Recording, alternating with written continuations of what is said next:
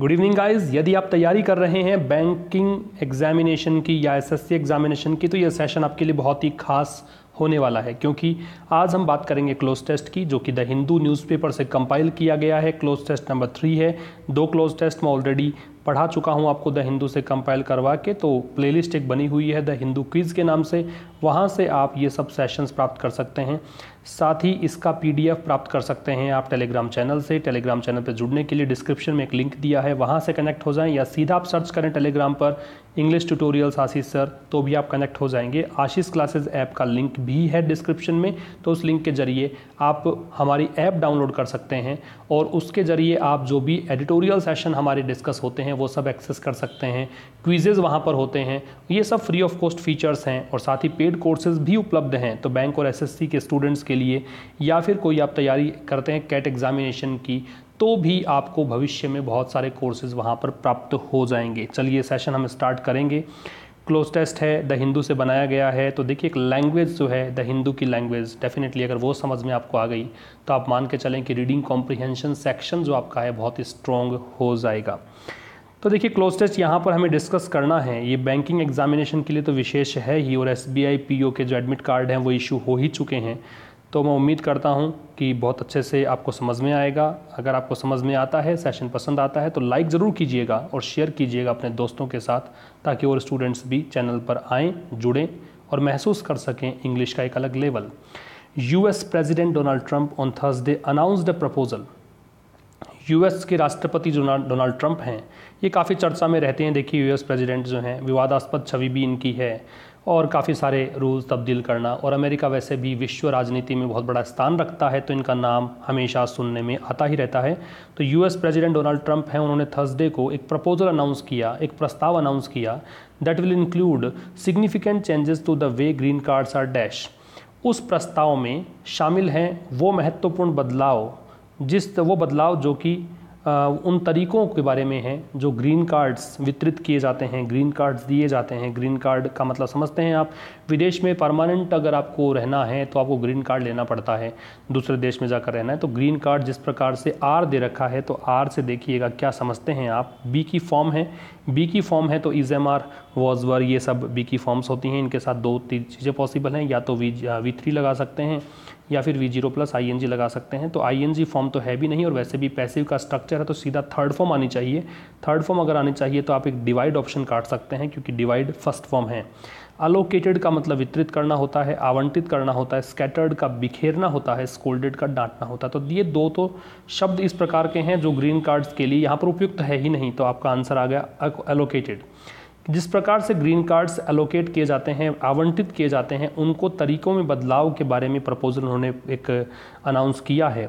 तो एक बताया आगे कि by dramatically reducing the number of family based green cards कि नाटकीय अंदाज में जो परिवार आधारित ग्रीन कार्ड्स अब तक वितरित किए जाते रहे हैं, उनकी संख्या को कम करना and moving towards a point based merit based system और एक मेरिट बेस्ड या पॉइंट बेस्ड एक सिस्टम स्थापित करना दैट विल रिवॉर्ड जो कि रिवॉर्ड होगा मतलब किसके तौर पर? दूसरे फैक्टर्स के साथ साथ में एजुकेशन स्किल्स देखी जाएगी।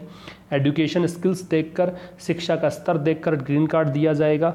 इंग्लिश लैंग्वेज देखकर इंग्लिश लैंग्वेज में क्या हो सकता है कि इंग्लिश लैंग्वेज में प्रवीणता है कि नहीं, दक्षता है कि नहीं डेक्स्टरिटी है कि नहीं?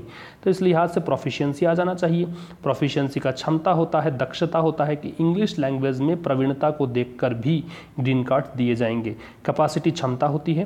प्रोलिक्सिटी का मतलब होता है using too many words prolix का नाउन फॉर्म ये है प्रोलिक्सिटी का मतलब होता है बहुत सारे शब्दों का इस्तेमाल।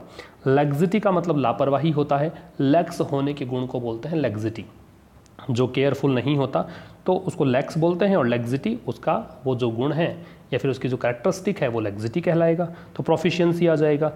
अब देखिए क्या है the plan which the president वो योजना जो कि प्रेजिडेंट ने dash at a rose garden gathering rose garden gathering में रोज़ गार्डन एक जगह का नाम है, वहाँ पे जो भीड़ इकट्ठी हुई थी उसके बीच में वो प्लान है, उन्होंने विस्तार से बताया। पास्ट की बात है।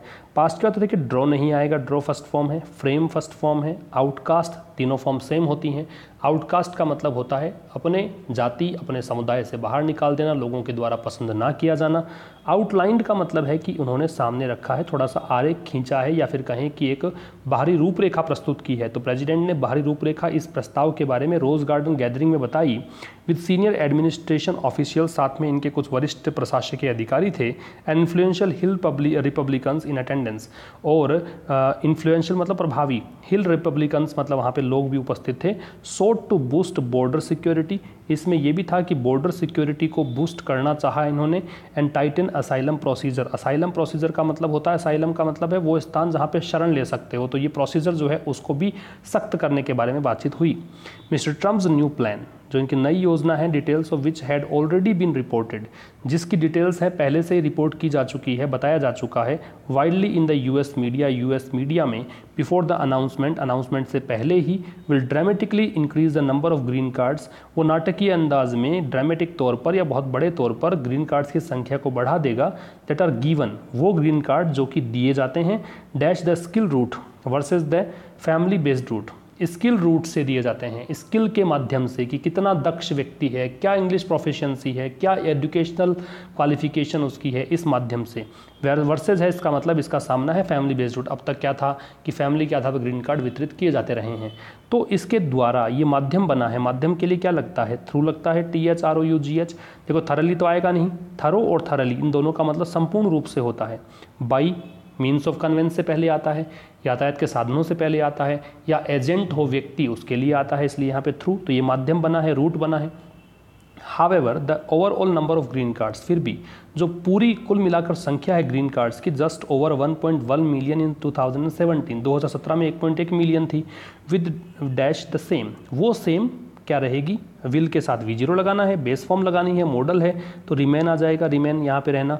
आउट नंबर्ड सेकेंड फॉर्म है आउट नंबर का मतलब संख्या में अधिक हो जाना है तो सेकेंड फॉर्म तो आएगी नहीं विल दे रखा है। बींग विल के साथ आएगा नहीं, क्योंकि मॉडल जो है वो हमेशा बेस फॉर्म को लेता है। बेस फॉर्म का मतलब मैं वी ज़ीरो बोलता हूँ। वी ज़ीरो का मतलब ये है कि जिसके साथ आप आईएनजी अप्लाई कर सकें तो बी एक बेस फॉर्म है बी में आईएनजी अप्लाई हुआ है, लेकिन बींग तो बेस फॉर्म नहीं रही। अश्योर हो सकता था, लेकिन अश्योर आश्वस्त करने को बोलते हैं, इसलिए यहाँ पे अर्थ के अनुसार ये फिट नहीं बैठेगा। आपका आंसर आएगा रिमेन। तो दोस्तों, लीजिए हमने डिस्कस कर लिया है क्लोज टेस्ट नंबर थ्री और द हिंदू न्यूज़पेपर जो सीधा सबसे पहले आपको एडिटोरियल सेशन मिलता है मॉर्निंग में, उसके बाद आज आपको कॉमन एरर्स मिली ट्वेंटी कॉमन एरर्स का सेशन मैंने दिया आपको, और अब ये क्लोज टेस्ट तो द हिंदू, हम बहुत अच्छे से पढ़ने वाले हैं और उम्मीद करता हूँ भविष्य में बहुत अधिक सेशंस आपको मिलने वाले हैं। तो आप अधिक से अधिक शेयर करें, अधिक से अधिक लाइक करें और बताएँ मुझे कि कितना पसंद आपको ये सेशन आ रहा है। Thank you very much for watching this one see you tomorrow with a new session till then goodbye